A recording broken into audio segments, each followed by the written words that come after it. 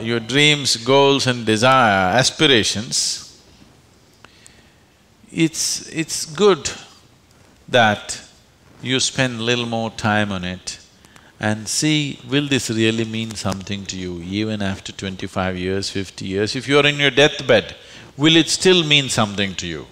You must look at it.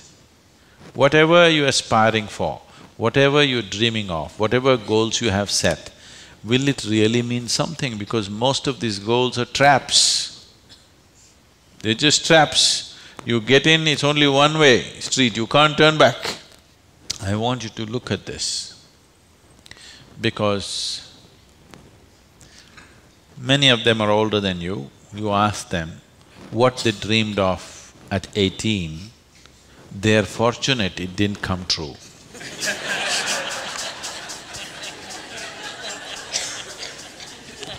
yes or no? If everything that you desired and dreamed came true in your life, could you live with it? Fortunately, many of those things got filtered and never came true, isn't it? So, it will be very good if anybody of your age, if they want to decide and fix the goals of their life, it'll be very good if they take a break from all influence that's around them. Social influences, family influences, other influences, withdraw somewhere, that's why an ashram withdraw somewhere, sit down, meditate, bring yourself to a certain level of clarity and joy. When you're very happy and clear, you must decide. Not in desperation you set goals. Desperate goals that you set will mean a lot to you at that moment. Tomorrow morning you look, you don't know why you're tangled up with it. So, uh, it'll be good. If you if you're fixing your life, it's best that you do it when you're very, very peaceful, happy and clear-headed, isn't it? Not influenced by anything around you, simply by yourself. Sit and decide what is it that you really want to become in your life, what is it that will be of enduring value for you, not for somebody else, for you. And you don't have to build a personality for that, you strive for that. The necessary persona will come you must understand what a personality is. The word personality comes from the word persona. Persona means in Greek or in Latin, I'm sorry, is a mask. This is a mask that they used to use in old theaters. Now, the same people will be playing many roles. Let's say Ramayana is happening. You have to play Rama's role also and Sita's role also and Lakshman's role also. For everything there's one one mask. You hold this mask and speak like Rama, keep it down. Hold this mask and speak like Sita, keep it down. Hold this and speak like Hanuman and keep it down. This is how the plays were done. So it is those masks which were referred to as persona. So personality means you held a mask and mask got stuck to your face, you couldn't pull it out. That means you have a personality.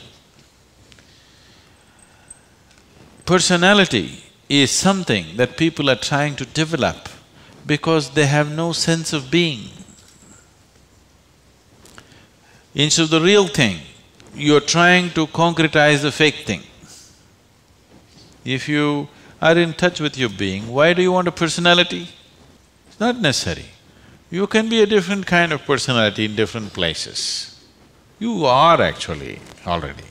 Or are you stuck with one personality? Some people are, people who are simplistic in their head have only one personality.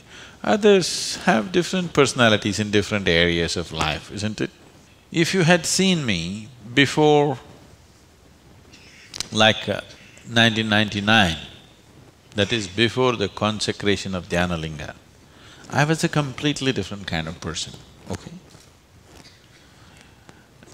To such an extent, everything about me was so different.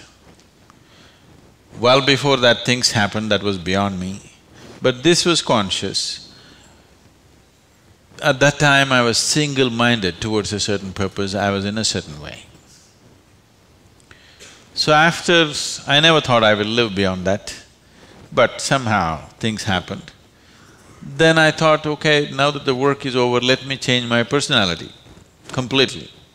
To fulfill that, I had acquired a certain kind of personality. And now that it's over, I thought, let me change it. And I told people around me, see, I'm going to change my personality. Don't be shocked, I'm still the same guy. They said, no problem, this, this, this. I said, just hang on, because things will change. Everything about me will change, the way I operate will change, the way I speak will change, the way I dress will change, the way I do, everything will change. They said, no problem, we know you, we love you with this, this. I said, that's okay, hang on tight, because when things change, people fall off. Lot of people fell off because uh, they couldn't believe.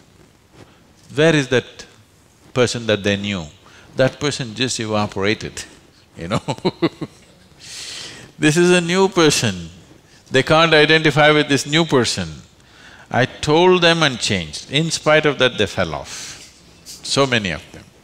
So many of them who were very dear to me and very close to me, they fell away because I changed so dramatically. And I told them I'm going to change because one phase of work is over, now it's time to change my personality. The way I look, the way I dress, the way I speak, the very way I am, everything about me. I even change what food I like. I changed my personality, so I thought I'll change my food also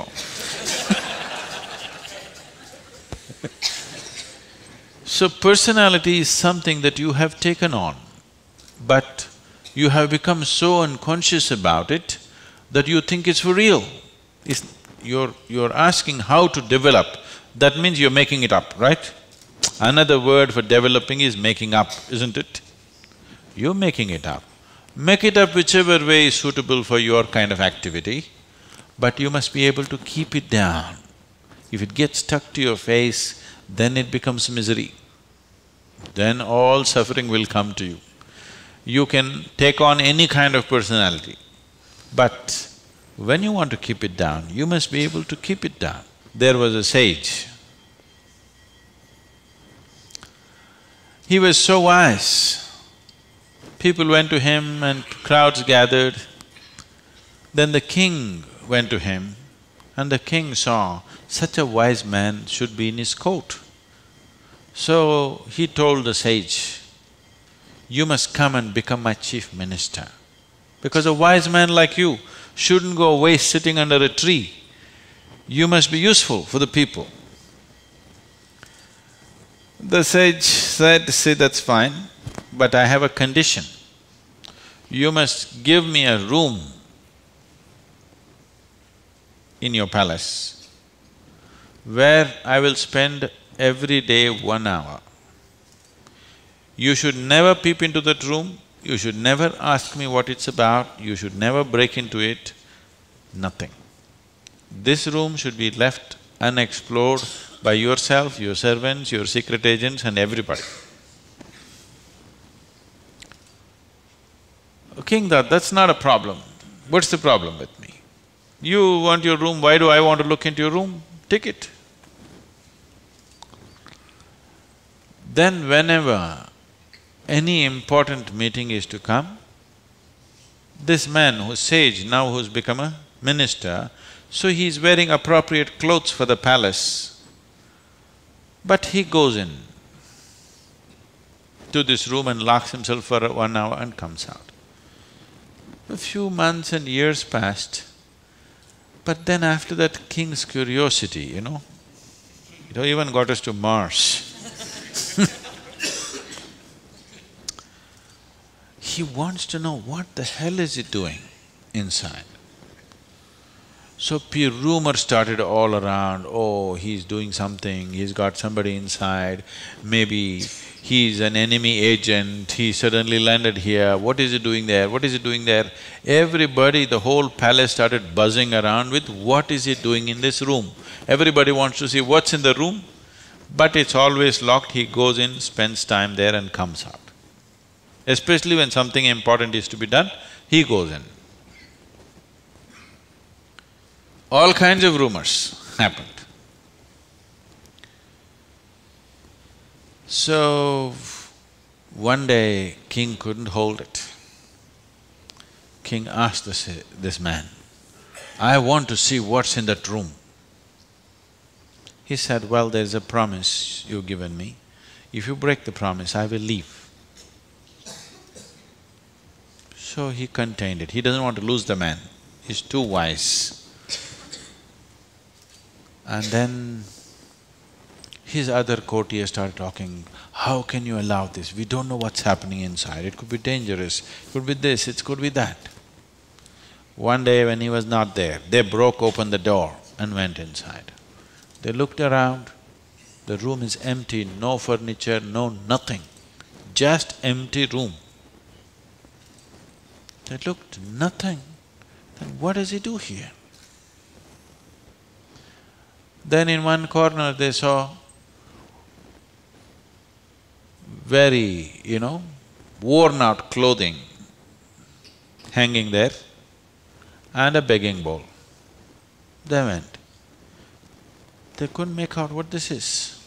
Then he came in. He said, well, you wanted to see, you have seen. The king asked, what do you do here? He said, whenever I want to make any important decision, I come here, wear my worn out clothes and sit with a begging bowl bowl clearly, you know, that I don't want to be caught up with the… with all the things of the palace. I want my wisdom not to be lost in these clothes and in this uh, jewelry and in this stuff. So I come here, wear those clothes, sit with my begging bowl, make the decisions and then come out. Now you've broken the promise and he left. So, this is what meditation is for you. Every day when you sit, you strip yourself down. You don't have to do anything about it. If you sit there simply, see, anything that's made up needs constant support from you, isn't it? See, suppose you tell a lie. It needs constant support to keep it up, isn't it? But if something is true, you can even forget it but it's still there, isn't it? You understand what I'm saying? If something is true, even if you forget it, it's still there, no problem. But if it's a lie, you have to keep it up. Your personality is a lie. Your being, your existence is the… is the truth. You don't have to keep this up. This will be anywhere there. What you make up for the sake of the society to function in the society, you need a certain kind of makeup you must be able to keep it down. If you're going to bed fully made up, then something wrong with you.